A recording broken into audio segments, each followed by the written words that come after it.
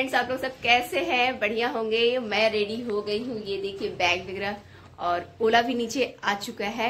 मुझे जाना है अभी पतंजलि युग्राम के लिए निकलना है। और लाडो सो रही है तो इसको मैं उठाना चाहती हूँ। थोड़ा सा प्यार करना चाहती हूँ। पर प्यार कर नहीं पा रही हूँ, क्योंकि हस्बैंड बोले, तुमको जाते हुए देखेगी ना, गाड़ी में बैठते हुए देखेगी तो बहुत रोएगी और चुप होने का नाम नहीं लेगी और बोलेगी, मम्मा चाहिए मम्मा चाहिए। तो इसीलिए इसको मत उठाओ। लेकिन मैं फिर भी एक गुड बाई किस ज़रूर देना चाहूँगी। बहुत खराब लग रहा है। उसको पता भी नहीं कि मम्मी जाने वाली है। और सबसे ज़्यादा मुझे फ़िक्र अगर होगा तो मुझे आदि के लिए होगा। लाडो की उतनी फ़िक्र नहीं है, मुझे आदि की ज़्यादा फ़िक्र है। क्योंकि लाडो को सब प्यार करता है और आदि को जब पापा के तरफ़ से डांट पड़ता है ना तो मैं ही होती जो इसको बचाती हूँ। तो ये कह रहा मम्मा, आप प्लीज़ मत जाओ। तो अब जाने का टाइम आ गया है। टाइम देखिए, आठ पाँच हो रहा है। कोला वाले का कॉल आ गया था, वो नीचे है। कहाँ गया चलिए।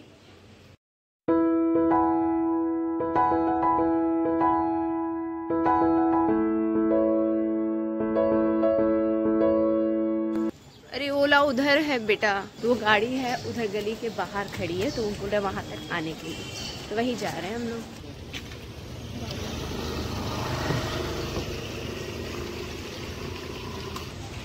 ये बड़ा अजीब सा लग रहा है।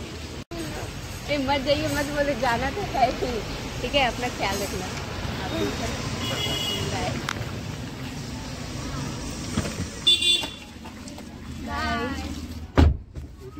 बाय बज रहा है दस चालीस, पर अभी हम लोग कहाँ फंसे? ये ट्रैफ़िक में हम लोग फंसे हुए हैं। वो तो टाइम से पहले मैं निकल गई हस्बैंड बोल रहे थे, और थोड़ा लेट से निकलने के लिए, लेकिन मुझे पता था ये ऑफ़िस टाइम में ट्रैफ़िक ज़्यादा मिलेगी तो हम बोले कि नहीं, पहले निकल जाते तो ज़्यादा अच्छा रहेगा। ट्रैफ़िक की वजह से कह नहीं सकते कितना टाइम लगेगा पहुँचने में। ग्यारह दस हो गया है और अभी भी मैं यहाँ ट्रैफ़िक में फंसी हूँ। मुझे इतना टेंशन हो रहा है ना, मैं बता नहीं सकती कब जाऊँगी, कब बोर्डिंग पास बनेगा, कुछ कह नहीं सकते।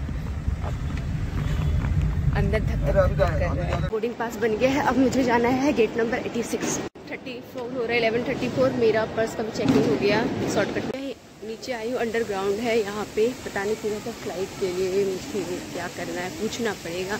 आगे का प्रोसेस कुछ पता है नहीं। लेकिन हाँ विद इन टेन मिनट्स मेरा बोर्डिंग पास और मेरा पर्स का चेकिंग जैकेट बेल्ट सबका चेकिंग हो गया शॉर्टकट में, क्योंकि मैं बोली ना, मेरे इमरजेंसी है, बारह दस की फ़्लाइट है तो फटाफट मेरा सबसे स्टार्टिंग में सब कुछ सिक्योरिटी वाले जो होते हैं ना, वही कर दिए थे। अब जान में जाना है। इलेवन फोर्टी बज रहा अभी। I think eleven twenty two या ट्वेंटी थ्री में आई थी। इलेवन फोर्टी में मैं यहाँ पे एयरपोर्ट में पैर रख रही हूँ बोर्डिंग पास बन गया, मेरा सिक्योरिटी चेकिंग हर जगह से पास मेरा बन गया है।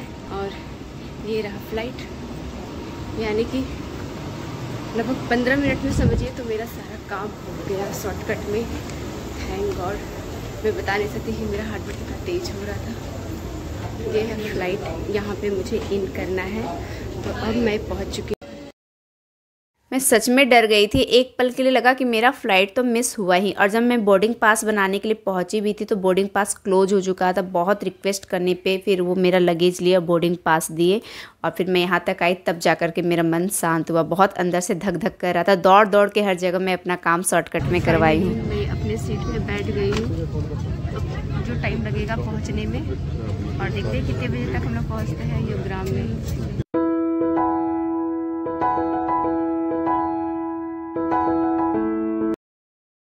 फ़्लाइट में ये खाना मिला। मैं सुबह से कुछ खाई भी नहीं थी क्योंकि आठ पाँच को निकली थी। आपने घड़ी देखा भी और अभी टाइम भी हो गया था दोपहर के एक डेढ़ बजे रहते हैं। खाना जब मिला, मुझे चावल, सब्ज़ी, साग, मिक्स वेज है यहाँ पे और ब्रेड, बटर और रस मलाई मुझे मिला था। बाद में चाय, कॉफ़ी, लेकिन मैं मना कर दी और मैं खाई चावल और सब्ज़ी बहुत मन से खाई। मेरा पेट थोड़ा सा तो कम से कम भरा, रसमलाई काफ़ी टेस्टी था तो वो खा ली। लेकिन ब्रेड, बटर मैं खाती नहीं हुई आप भी जानते इसीलिए मैं ब्रेड, बटर छोड़ दी।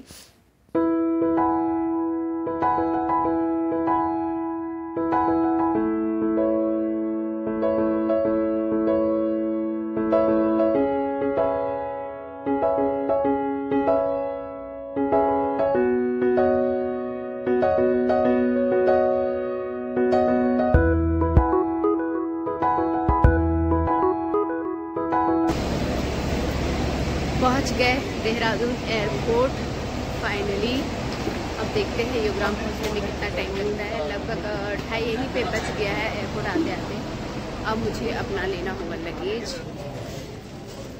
लगेज लेते हैं, फटाफट योग्राम पहुँचते हैं। जल्दी से जल्दी, ढाई तो बज गया है। मुझे मेरा ट्रॉली पहचानना होगा कहाँ है। यहाँ पे लगेज मिल रहा है। तो यहाँ तो गोल गोल घूम रहा है लगेज, अब मुझे लगेज पहचानना होगा।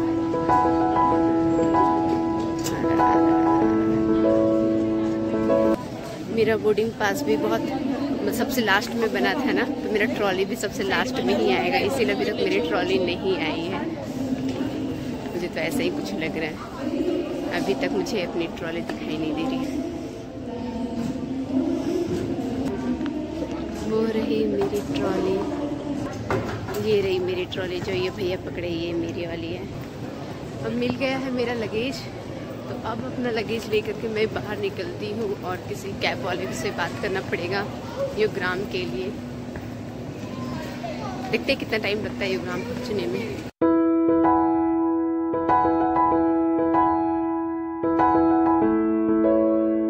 निकल गई। यहाँ तो इतने सारे कैब दिख रहे किसी एक से बात करनी पड़ेगी। बोले two thousand one forty rupees इतना ज़्यादा महँगा, बाप बहुत महँगा है ये तो। एयरपोर्ट है एयरपोर्ट के बगल में टैक्सी है। तो हम लोग यहीं से हम लोग टैक्सी लेते हैं। और अब हम लोग जा रहे हैं योगग्राम। यहाँ से भैया योगग्राम कितना किलोमीटर है? पैंसठ किलोमीटर। भैया बता रहे पैंसठ किलोमीटर है देहरादून एयरपोर्ट से। और कितना घंटा लगे चालीस तो हरिद्वार है अच्छा। पच्चीस किलोमीटर तो कितना टाइम लग जाएगा? डेढ़ दो डेढ़ दो घंटा।